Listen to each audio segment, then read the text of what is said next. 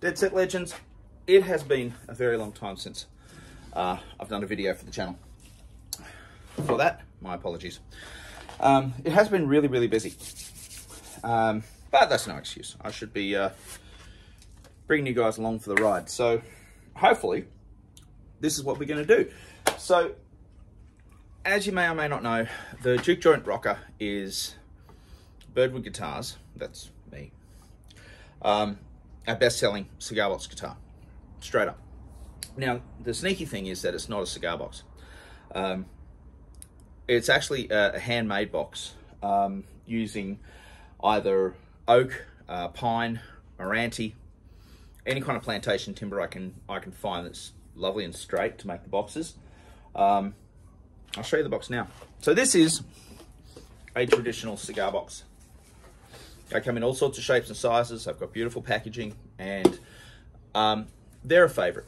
And I love using cigar boxes, but here in Australia, it is uh, insanely difficult to get um, a good range of cigar boxes.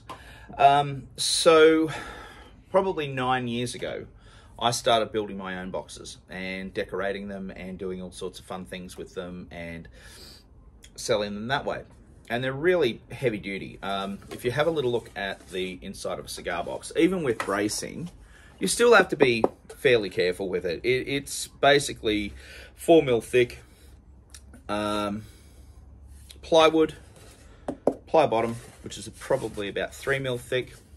The top's a little thicker, and quite often you'll find these also made out of MDF as well, and they're great, and they're really, really great. And if you frame them out, they're quite good. They're okay.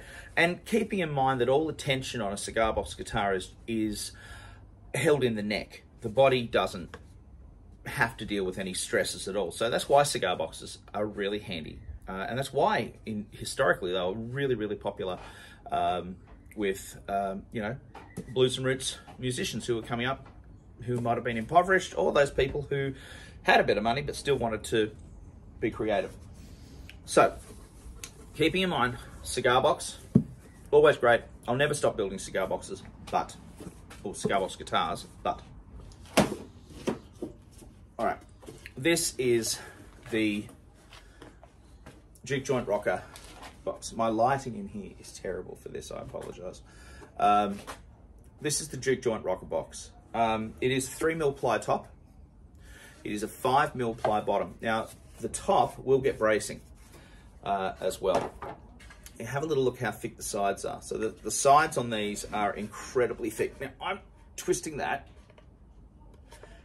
and it's not going anywhere. It's You could drop this, you could, this is as solid as an electric guitar, all right? It's it's really solid. And the whole idea of this, his, this series of guitars was that it was designed to be really, really, really strong. So that if you are going to take it on the road, if you are going to play it live or you know have to whack someone on the head with it if they're being uh, twit.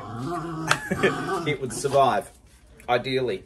Um, let me give you a little idea of what one looks like. I've just finished one. It's still the oil on the neck is just finally curing. So tomorrow is the day when it'll actually get its uh, the, the strings put on and intonation all that sort of stuff done. There we go so that's the Juke Joint Rocker completed, or almost. All right, this is a four string. You got your dot markings on the side. It's like it's a it's a real solid piece of kit, and like it's it's tough. Um, it's a nice size. It's a really comfortable size. The balance is actually really really quite cool. Like if you feel, I'm just holding it with one hand. There you go, my fingers. Just holding it. So it's got a really nice balance to it as well, which is quite cool because a lot of the times cigar box guitars are neck heavy and they want to go and neck dive. Consider the size of the box. So you can see it's it's a bit bigger. It's a little bit bigger than a traditional like Romeo Juliet number two cigar box. So with that in mind, what I wanted to do, this Prince is here playing, so that's all, all good. What I wanted to do was basically just, uh, over the next few days, take you through the, the construction of um, a juke joint rocker. So first things first, I'm going to show you the stain. So that's, I'm just, I'll bring you around this way. Just so you can have a little look. There is a video about how I stain this um, already on the channel. So if you want to go back and have a look, please do. Otherwise, stick, stick with me. I'll just show you the materials that I've used to stain the guitar. Um, the first thing that I do, I use a Feast and Watson, um, a black. And what I do is I basically just, and this is a spirit stain, and I, um, I basically just cover the whole thing in black stain. Then what I do to get that kind of weathered effect is I'll hit it with sandpaper. So I'll sand it back, and I'll do that to the back of the guitar as well and also to the top so that we don't end up with any blonde showing through or uh, this is uh, Meranti I've used on this particular one which is um, nice it's a nice tone wood actually Meranti it's it's apparently got very similar um, very similar uh, attributes to um, mahogany so that's that and then what I'll do is I slap a coat of this. Now I've had this for eight years and this is decking timber, deco style um, decking timber stain. It's a nice dark colour. And I slap that on over the top of the black and that's what gives it its dark stain. Where do I get that particular stuff? I actually got it from Aldi about eight or nine years ago, and I'm still going through it. It's been absolutely brilliant. And when they bring it out again, if they bring it out again, I'm going to buy it again. And I hope it does me another 10 years. So, my God, 10 years. I'll be 62 in 10 years. Fair All right, okay. Panicking. All right. So, what I then do is, if you can have a little look, bring you down there to the to the box. So this is how I measure up. Now I use a 25 and a half inch scale length on these guitars. I can do them shorter.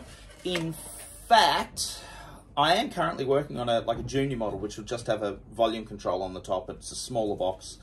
Uh, um, the reason I basically because I just had some smaller bits of timber just hanging around, and I just thought I don't want to go going to waste. So I'll build a... I actually thought, to be honest with you, I thought about building it for myself. I thought I wouldn't mind like a juke joint rocker. I don't usually use a tone control on the guitars. I put the tone control on these, but I don't often use them myself. So, um, so I was going to actually build one for myself, and then I thought, well, no, I'll build it for me, and then I'll stick it on the website, and if it sells, it sells. That's fine. um, so how do I get my lengths? Now I use a 25 and a half inch scale length. Now what I do, I have just here a meter ruler. I apologise for those people who work in um, in Imperial. Uh, with a caveat, um, I measure 25 and a half inches here. However, when I, uh, and I've got my fret markings on the ruler. So I simply just transfer the fret markings over. However, when this gets a little bit off, I'll then go back to the StewMac calculator and I'll actually do it in millimeters. So you're really looking at six, about, I usually, it's 650 millimeters, um, which is pretty much 25 and a half inch scale length. Um, so what I do, if I hope you can see, I'll just, I might bring you down here so you can just see the guitar. You don't need to see me. And there's the box. There's the box. So I put the box up on its end like that. I then, I'll get, you know, I'll get a blank piece of wood. You get a blank piece of timber, oak. So the very first thing I'll do is I'll put the, with a pencil, I'll put the notch here in the neck. So for my angle for the headstock, so that's that. I'll put that notch in uh, just at the top there. Then what I do is I look for a nice amount of room on the guitar and I put two little marks and that represents the nut. Okay, I make sure that I've got enough room. If I've got a four string guitar like the other one I just showed you, I'll make the headstock a bit longer. But if it's a three string, I'll make it a little bit, little bit shorter, such as this one here. So you can see I've even just eyeballing it, I'm basically the same distance from those marks. This is one I've already done to these marks here. So I'm, I'm quite used to it after building so many. Uh, I, it's becoming second nature. All right, so what I'll then do is I'll get the neck blank. The first thing I do is to make sure that the neck is actually straight.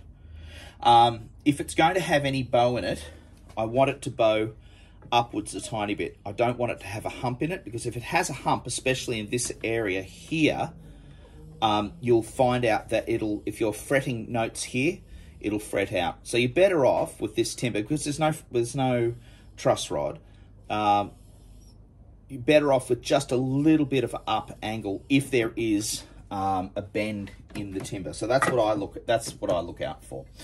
All right, so what I'll then do is I'll grab the guitar box and I'll put the box next to the um, next to the neck. Okay. Now the neck doesn't run all the way through, and that's really important to recognize with the, with these guitars. This isn't a through neck. Okay. Uh, it's actually a three piece neck design. That's how I build mine. All right. So what I'll do is I'll get my ruler and I'll lie my ruler out on the counter on top of the piece of timber that I've got there. So there we go, popping that on top and I'll rest that there. Then what I'm going to do is I'm going to move, and here on my ruler, and you can't see that, here on my ruler, just there, I've got 650 millimeters, 25 and a half inches. I've got that marked. So I can see on the box where it's going where the bridge is going to be. Now this to me, this is too far back because I want to have a little bit of room for the controls. So I'll bring the bridge up forward a little bit. It's not exact, all right? It's it's always going to be within about three or four mils just visually. I, I don't, I eyeball this, all right? I don't do this using measurements. I just eyeball where do I want the bridge on the guitar, on the guitar top, and I always want it around about here on the guitar body. See that there? All right, so that's where it's going to be. So what I do over here at the front of the guitar, I put a mark and then I put another mark. And there's two marks that I put. This is where the fretboard's going to finish and this is where the tenon comes inside the guitar. Now I'm going to show you that in a second, all right? So what I'll then do is I now need to cut, I'll bring you back a bit so you can see a little bit more of what I'm doing here. All right, because as I said to you, this is a two-piece neck. So here's the first part of the neck. You'll notice there's a notch there. So I've actually notched out the neck. This is where the lid's going to fit on. So the lid of the guitar will actually fit there like that. And then the fretboard will be a little bit higher, okay? Now, depending on the thickness of the fretboard that I use, I'll just bring you up here so you can see me. Depending on the thickness of the fretboard that I use, it will depend on how thick the inside part is going to be. Now this is how the guitar actually looks when it's the neck is actually put together. It looks like this. All right, so that's the neck without the fretboard.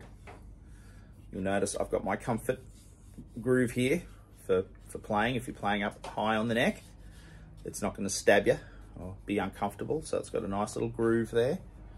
Some people round the whole thing. It's just, for me, it's not necessary. I, I don't want to round the whole thing. Um, and then I've actually got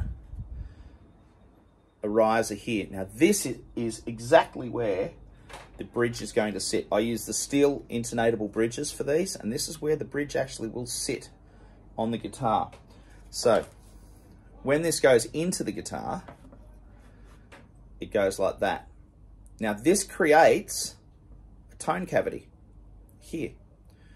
And then I drill out for the uh, sound hole and I've got enough room for the pickup and I brace. I put a brace on the top so that you don't get that warp because you'll notice with 3 mil it's, it's got a bit of flexibility in it and I don't want it warbling. I don't want that warbly sound.